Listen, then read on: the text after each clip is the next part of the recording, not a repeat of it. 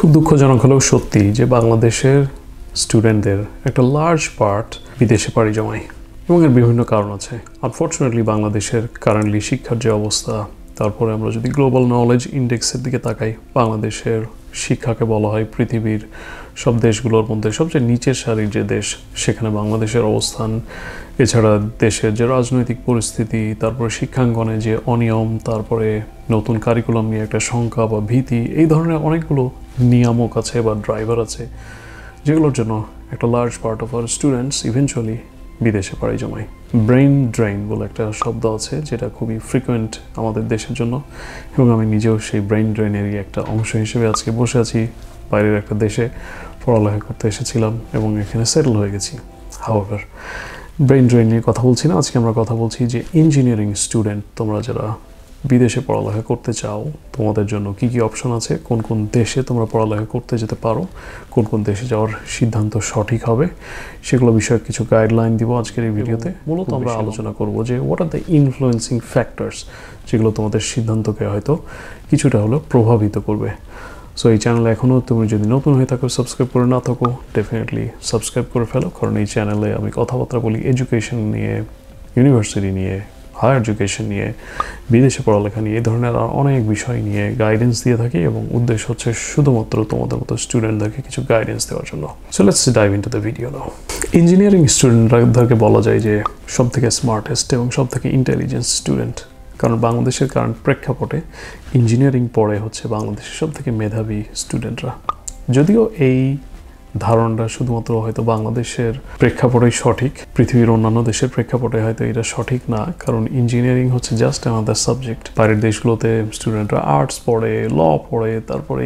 Humanities commerce এগুলো পড়ে এবং খুব মেধাবী স্টুডেন্টরাও পড়ে। কিন্তু ট্র্যাডিশনালি বাংলাদেশের মোস্টলি ইঞ্জিনিয়ারিং স্টুডেন্ট যারা হয়, এরা হয় খুবই মেধাবী এবং এরা হচ্ছে উবার ট্যালেন্টেড টাইপের স্টুডেন্ট সো ইঞ্জিনিয়ারিং পড়ার পরে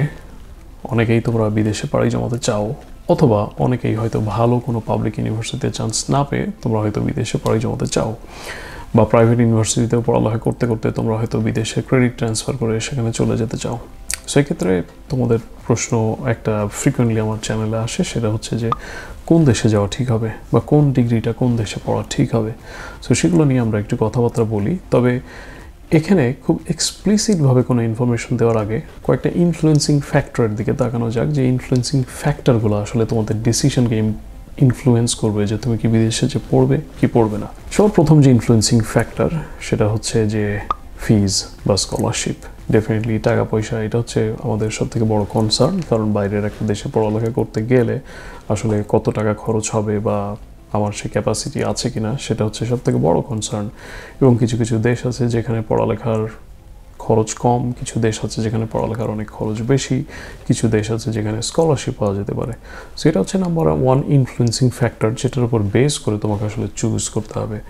কোথায় পড়তে হবে সেটা নিয়ে পরে আসছি বাট আগে আমি এই ইনফ্লুয়েন্সিং ফ্যাক্টরগুলোর কথা বলে রাখছি। দ্বিতীয় যে ইনফ্লুয়েন্সিং ফ্যাক্টর এটা হচ্ছে ল্যাঙ্গুয়েজ ব্যারিয়ার কারণ তুমি যখন একটা বাইরের দেশে পড়ালেখা করতে যাবে ল্যাঙ্গুয়েজ হচ্ছে দ্য বিগেস্ট ব্যারিয়ার এবং সে ল্যাঙ্গুয়েজ ব্যারিয়ারটাকে কীভাবে তুমি ক্রস করবে, সেটা হচ্ছে আর একটা চ্যালেঞ্জ তোমার জন্য. সো এই ক্ষেত্রে কোনো কোনো দেশ আছে যেখানে তোমাকে হয়তো স্যাট করতে হবে, কোনো দেশ আছে তোমাকে জিম্যাট করতে হবে, কোনো দেশ আছে সেখানে আইএলস করতে হবে বা পিটি করতে হবে, বা কোনো দেশ আছে যেখানে হয়তো ইউরোপিয়ান কোনো ল্যাঙ্গুয়েজ শিখতে হবে like German if you go to German তোমাকে জার্মানির ল্যাঙ্গুয়েজ শিখতে হবে। সো ল্যাঙ্গুয়েজ হচ্ছে আর একটা ব্যারিয়ার যে কোনো তোমাকে এইটাকে আর একটা কনসিডারিং ফ্যাক্টর হিসেবে নিতে হবে। The third considering factor to my opinion হচ্ছে কালচার অ্যান্ড ইকোনমি কারণ পৃথিবীতে আজকে গ্লোবালাইজড একটা ভিলেজে যদি আমরা বাস করি বাট প্রত্যেকটা দেশের কালচার কিন্তু ডিফারেন্ট আমরা যদি ইউরোপের দিকে তাকাই, তার একটা হচ্ছে খুব মিক্সড একটা কালচার একটা ওয়াইড একটা কালচার ইউরোপিয়ান ইউনিয়নের সবগুলো দেশের মধ্যে একটা অ্যাক্সেস আছে অ্যাক্সেসিবিলিটি আছে। এবং it's it's a very diverse একটা কালচার আমরা যদি আমেরিকার দিকে তাকাই আমেরিকা হচ্ছে ডিফারেন্ট আর একটা পার্ট অফ দ্য ওয়ার্ল্ড সেখানকার কালচার ডিফারেন্ট এশিয়ান কান্ট্রিগুলো বা এশিয়া প্যাসিফিক যদি অস্ট্রেলিয়া বা নিউজিল্যান্ডের দিকে তাকাই, তাদের কালচারটাও ডিফারেন্ট সো পৃথিবীর প্রত্যেকটা অঞ্চলেই কিন্তু স্পেসিফিক কিছু কালচারাল অ্যাসপেক্ট আছে এবং ইকোনমি আছে। সো কালচার এবং ইকোনমির এই ট্রেন্ডটা আর একটা ইনফ্লুয়েন্সিং ফ্যাক্টর যেটা তোমার ডিসিশনকে শুধু ইনফ্লুয়েন্স যে আসলে তুমি কোন জায়গায় পড়তে যাবে। সব লাস্টে যে ইনফ্লুয়েন্সিং ফ্যাক্টর এটা হচ্ছে যে একটা দেশে বসবাসের সুযোগ সুবিধা কেমন? অর্থাৎ ইমিগ্রেশন বা তার যে লিভিং স্টাইল এই জিনিসগুলো কেমন? কারণ প্রত্যেকটা দেশের কিন্তু বসবাসের যে সুবিধা বা ইমিগ্রেশন ফ্যাসিলিটি এগুলো কিন্তু চেঞ্জ হচ্ছে বা হয়। সো এগুলোর উপর বেস করে কিন্তু তোমাকে চিন্তা করতে হবে যে তুমি যে দেশটায় যাচ্ছ, পড়ালেখা পরবর্তীতে তুমি কি সেই দেশে বসবাস করতে চাও, নাকি সে দেশের যে লিভিং স্ট্যান্ডার্ড আছে বা লাইফস্টাইল আছে, সেটার সাথে তোমার কারেন্ট লিভিং স্টাইল কতটা কনসিস্টেন্ট সো এই বিষয়টাও আর একটা ফ্যাক্টর যেটা should influence our decision to choose destination for higher studies এবার আমি কথা বলব পৃথিবীর কিছু ডেস্টিনেশনের কথা বা ওভারসিজ কিছু স্টাডি ডেস্টিনেশনের কথা, যেগুলো ইঞ্জিনিয়ারিং পড়ার জন্য সব থেকে best location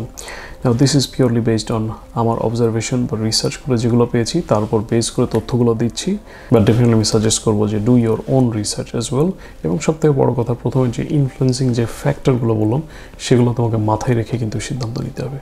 সো ইঞ্জিনিয়ারিংয়ের কথা বললে পৃথিবীতে সবার আগে যে দেশটার নাম আসে, সেটা হচ্ছে জার্মানি। জার্মানিকে বলা হয় পৃথিবীর one of the most innovative countries in the world so German is famous for innovation precision and quality German হচ্ছে ইন্ডাস্ট্রিয়ালাইজড একটা ইকোনমি এবং ইন্ডাস্ট্রিয়াল রেভলিউশনের অনেক শুরু থেকে যে কয়টা দেশ ইন্ডাস্ট্রিয়াল রেভলিউশনে অংশ ছিল, জার্মানি হচ্ছে তার মধ্যে একটা অন্যতম এবং জার্মানি বিখ্যাত হচ্ছে তাদের কেমিক্যাল ইঞ্জিনিয়ারিংয়ের জন্য, তাদের অটোমোটিভ ইন্ডাস্ট্রির জন্য, পৃথিবীর সবথেকে বড় বড় দামি দামি এবং লাক্সারিয়াস গাড়ির যে company like BMW Mercedes Audi Volkswagen এগুলো হচ্ছে সব জার্মানিতে ম্যানুফ্যাকচার্ড সো জার্মানির যে ইঞ্জিনিয়ারিং এক্সেলেন্স জার্মানির যে টেকনোলজিক্যাল অ্যাডভান্সমেন্ট জার্মানির যে research and innovation in the field of engineering এটা বলাই বাহুল্য। সো ডেফিনেটলি তোমরা যারা পড়ালেখা করতে চাও ইঞ্জিনিয়ারিং বাইরে গিয়ে জার্মানি হচ্ছে তাদের জন্য বেস্ট লোকেশন আর একটা বিশেষ কারণে জার্মানি হচ্ছে খুব ভালো একটা লোকেশন সেটা হচ্ছে যে জার্মানিতে অনেক ইউনিভার্সিটি আছে যাদের ফিজের পরিমাণ খুব কম, অথবা কিছু কিছু ইউনিভার্সিটি এরকমও আছে যে যেখানে তোমাকে কোনো ফিজই পে করতে হবে না, তারা ফি ওয়েভার স্কলারশিপ দিয়ে থাকে স্টুডেন্টকে সো সেদিক থেকে Germany is a very good location the only reason I think Germany is not the best location এবং যে জন্য আমি হয়তো জার্মানিকে রেকমেন্ড করব না ইজ ল্যাঙ্গুয়েজ ব্যারিয়ার জার্মান ল্যাঙ্গুয়েজটা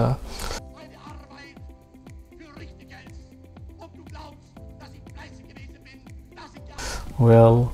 আমার কাছে খুব একটা পছন্দ হয় না। I should be biased but তারপরে আমার কাছে মনে হয় ল্যাঙ্গুয়েজ একটা বিগ ব্যারিয়ার ওয়েদার আর একটা বিগ ব্যারিয়ার এজ ওয়েল আমার কাছে। জার্মানি হচ্ছে খুব ঠান্ডা একটা দেশ। এইরকম ওয়েদার কখনো আসলে আমাকে অ্যাট্রাক্ট করেনি। So it's up to you but yes definitely European ইউনিয়নের একটা কান্ট্রি এবং access to all the European countries that's a big benefit so সেই জন্য জার্মানি হচ্ছে one of the best location to study engineering courses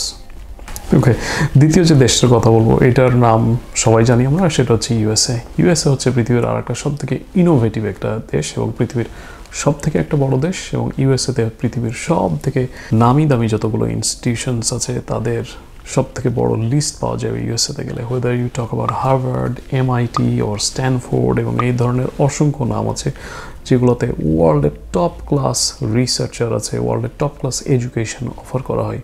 so definitely ইঞ্জিনিয়ারিংয়ের জন্য US হচ্ছে the best location as well English speaking একটা country হওয়ার জন্য ইউএসএতে মাইগ্রেশনের পরিমাণ সব সব থেকে বেশি ইউএসের ওয়েদার ইউএসের ইকোনমি ইউএসের ওভারঅল যে লিভিং স্ট্যান্ডার্ড সেটা ইমিগ্রেশনের জন্য খুবই ফেভারেবল খুবই সুইটেবল যার জন্য ইউএসএকে অনেক স্টুডেন্টই ডেস্টিনেশন হিসেবে বেছে নেয়। ইউএসএতে পড়ালেখা করতে গেলে তোমাকে স্যাট দিতে হবে। এবং I think GMAT as well SAT বা জিম্যাট দুইটাই হয়তো কাজে লাগতে পারে। সো ডেফিনেটলি কনসিডার ইউএসএ তুমি যদি পড়ালেখা করতে চাও। এখন in terms of selecting the right university এখানে কিছুটা তোমাকে ডিপেন্ড করবে তোমার পূর্বের রেজাল্ট তারপরে তোমার স্যাট স্কোর এগুলো সব কিছুর উপরে। যদি স্কলারশিপের অ্যাপ্লিকেশন করো ডেফিনেটলি অনেক ইউনিভার্সিটি আছে, তারা ফিউ এভার স্কলারশিপও দিয়ে থাকে। But USA is definitely a very very good choice right after Germany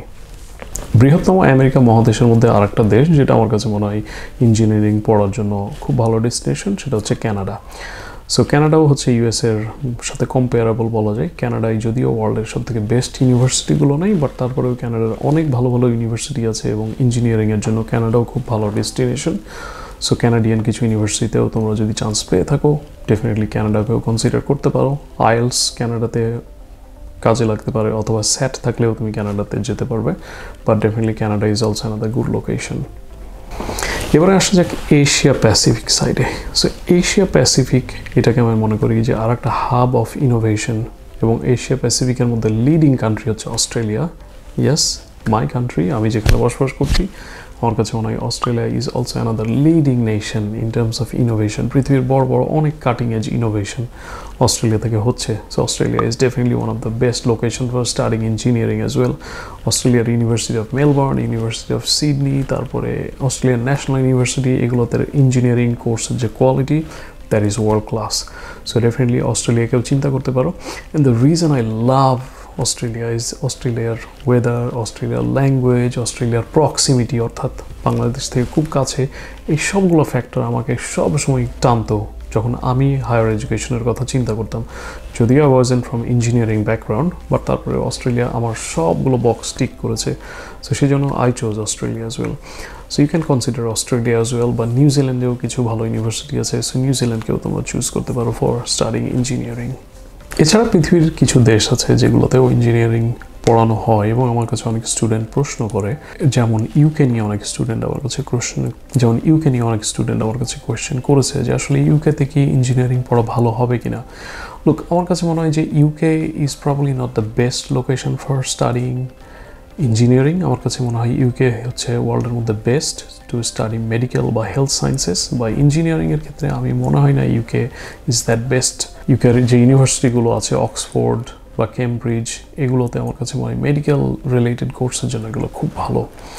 you UK হচ্ছে খুব থিওরিটিক্যাল খুব একটা ইন্ডাস্ট্রিয়াল একটা ইকোনমি না। ইন্ডাস্ট্রিয়াল ফোকাস খুব কম ইউকেতে আমার কাছে মনে হয় কনসিডারিং দ্যাট আমার কাছে মনে হয় UK is not the best location